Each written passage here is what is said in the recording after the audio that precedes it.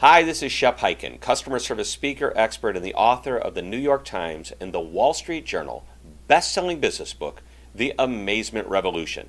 On this video, I'm going to share with you what may be the very, very best customer service quote of all time. Here it is. A customer is the most important visitor on our premises. He is not dependent upon us. We are dependent upon him. He is not an interruption on work. He is the purpose of it. He is not an outsider to our business. He is part of it. We're not doing him a favor by serving him. He is doing us a favor by giving us the opportunity to do it. The author of this quotation isn't a famous CEO recognized for business. He's not the author of a best selling book. Would it surprise you to learn that the gentleman who wrote this is not at all known for business, but best known for his stand against violence and for living a simple life. And it was from a speech delivered in 1890. Yet these words are still powerful words spoken by a powerful and influential man. The author of the above quote is Mahatma Gandhi. By the way, I've researched to verify that Gandhi is the author. Some say it was L.L. Bean, and I've talked to the fine people at L.L. Bean who verified that they modified the Gandhi quote. If you have any proof that it wasn't Gandhi, please let me know. So, business people are typically the ones writing quotes about customer service, not peace seeking activists. But when it comes right down to it, these words are simply about treating another person the way they should be treated.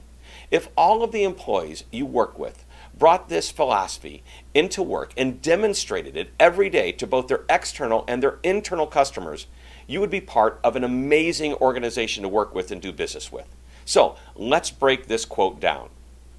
A customer is the most important visitor on our premises. We welcome a customer into the business. It can be in person or on the phone. Even if your business is an online website, you must draw the customer in and make them feel comfortable. He is not dependent upon us. We are dependent upon him.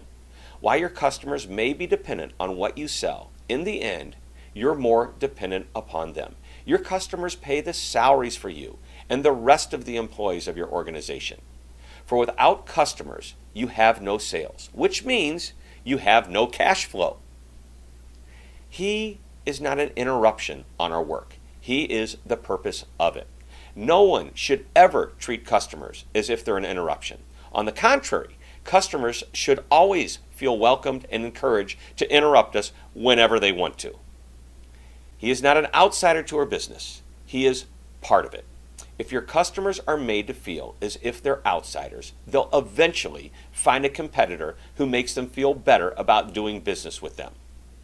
We are not doing him a favor by serving him. He is doing us a favor by giving us the opportunity to do it. In the end, the customer has choices. They honor us with their business. Maybe it's not quite doing us a favor, but the alternative is the customer does business with their competition. Make the customer feel special and appreciate it. So watch this video again. Share it with all of the people you work with. Discuss it. Embrace it. Implement it. This is quintessential business advice. Well, I hope you enjoyed this short lesson. Please be sure to visit my website, which is www.hyken.com.